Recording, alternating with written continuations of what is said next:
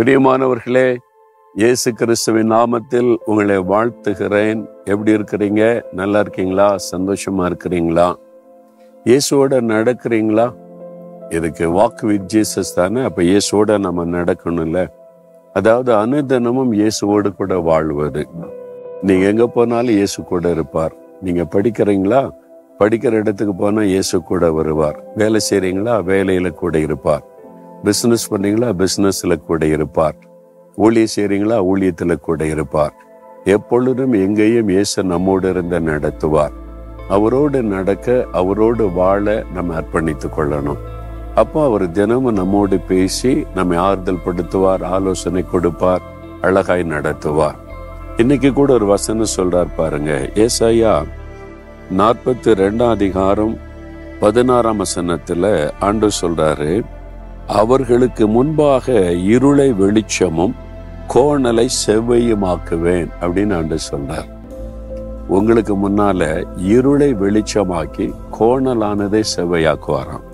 உங்க வாழ்க்கையில ஒரு பகுதியில இருட்டு இருக்குல்ல ஒரு வெளிச்சம் வந்துட்டா ஒரு மன மகிழ்ச்சி இருக்கும். சில பகுதியில இருட்டு இருக்கும். வீட்டுக்குள்ள போன உடனே எங்கெல்லாம் லைட்டு போடுறீங்களோ அங்கெல்லாம் வெளிச்சம் இருக்குமா? அங்கெல்லாம் நீங்க தைரியமா போவீங்க. சில ரூமுக்குள்ளே இருட்டா இருக்குன்னு வைங்களேன் உள்ளே போறதுக்கே பயப்படுவீங்க. சின்ன பிள்ளைகள் பயப்படும். சில பெரியவங்க கூட இருட்டை பார்த்தா பயம். ஆனால் லைட்டை போட்ட வெளிச்சம் வந்தோடனே பயம் போயிடும் உங்கள் வாழ்க்கையில் ஏதோ ஒரு பகுதியில் ஒரு இருள் இருக்கிறது. அது உங்களுடைய தனிப்பட்ட வாழ்க்கையாக இருக்கலாம். உங்களுடைய குடும்பத்தில் ஒரு பகுதியாக இருக்கலாம். உங்களுடைய வேலையில் இருக்கலாம். உங்களுடைய பிள்ளைகள் காரியத்தில் இருக்கலாம். உன்னுடைய ஊழியத்துல கூட எல்லாம் நல்லா இருக்குது. ஆனா இதை நினைச்சாதான் கொஞ்சம் கஷ்டமா இருக்குது. ஏதோ ஒரு பகுதியில ஒரு இருள். இந்த இருளை பிசாசு கொண்டு வருவதுதான். நம்மளை பயப்படுத்த சோர்ந்து போக பண்ண நம்முடைய வாழ்க்கையில இருளை கொண்டு வர முயற்சி பண்ணிக்கிட்டே இருப்பான். அவன் வந்து இருளின் அதிபதி. அந்த ஆண்டவர் நமக்கு வெளிச்சத்தை கொடுத்து இருளை மாற்றுகிறவர். உங்களுடைய இருளை வெளிச்சமாக்கவேன்னு என்று சொல்றார். எந்த பகுதி உங்களுடைய வாழ்க்கையில் இன்னைக்கு இருளா இருக்குதோ கலங்க பண்ணுதோ அந்த பகுதியில் ஆண்டவர் வெளிச்சத்தை கொண்டு வந்து உங்களுடைய கலக்கத்தை மாற்றுவேன்னு சொல்றார். ரெண்டாவது ஆண்டு சொல்ல கோணலானதை செவையாக்குவேன் உங்க குடும்பத்துல சில கோணலான காரியம் இருக்குதுல்ல? ஒரு ஒழுங்கான ஜெபமும் இல்லை ஒரு ஒழுங்கான ஆராதனையும் இல்லை சர்ச்சுக்கு ஒழுங்கா எல்லாரும் வருவதில்லை ஒரு ஒழுங்கா எல்லாரும் ஆண்டவர் விசுவாசிப்பதில்லை ஒன்று இந்த பக்கம் போது ஒன்று இந்த பக்கம் போகுது. உங்க வீட்டுக்குள்ள அப்படி இருக்குதா?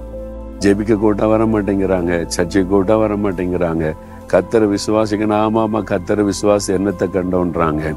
ஃபேமிலிக்குள்ள குடும்பத்துக்குள்ள சில கோணலான காரியம் இருக்குது. ஊழியத்துல கூட இல்லை அப்படி கோணலான காரியம் இருக்குது. உங்க பிசினஸ்ல கூட நீங்க நினைக்கிற மாதிரி எல்லாம் செய்ய நடக்க மாட்டேங்குது போக மாட்டேங்குது. கூட இருக்கிறவங்க கோணலானதை யோசிக்கிறாங்க கோணலான வழியில நடத்துறாங்க. ஆண்டு சொல்றாரு நான் கோணலானதை செவ்வையாக்குவேன். அவரால் முடியும். கோணலான காரியத்தை செவ்வையாக்கிடுவார். அப்பப்போ சாத்தன் நம்முடைய வாழ்க்கையில கோணலானதை கொண்டு வருவான். ஆனா ஆண்டவர் நம்ம கூட இருந்து கோணலானதை செவ்வையாக்கி நடத்திடுவார். இந்த நாள்ல உங்களுக்கு வாக்கு கொடுக்கிறார். உன்னுடைய இருளை நான் வெளிச்சமாக்குவேன். கோணலானதை செவ்வையாக்கிடுவேன். அதனால நீ பயப்படாத மகனே பயப்படாத மகளேன்னு சொல்றார். ஆனா என்ன செய்யணும்? நீங்க சொல்லணும். இது இந்த பகுதியில இருட்டு இருக்கிற ஆண்டவரே. இந்த இருளை வெளிச்சமா மாத்துங்க. எங்க குடும்பத்துல இந்த கோணலான காரியம் இருக்குது இதை சரிப்படுத்துங்க. நீங்க சொன்னா ஆண்டவர் செய்வார். ரெடியா இருக்கீங்களா? சொல்றீங்களா? பாண்டவரை ஆண்டவரை பார்த்து சொல்லுங்க. ஆண்டவரே என்னுடைய வாழ்க்கையில இந்த இருளான பகுதியை வெளிச்சமா மாற்றுங்க. இந்த கோணலான காரியத்தை செவ்வையாக்குங்க. நீங்க வாக்கு கொடுத்தீங்க அதை இன்னைக்கே செய்யுங்க. இன்றையிலேருந்து ஒரு மாற்றத்தை நான் பார்க்கணும். நான் விசுவாசிக்கிறேன்.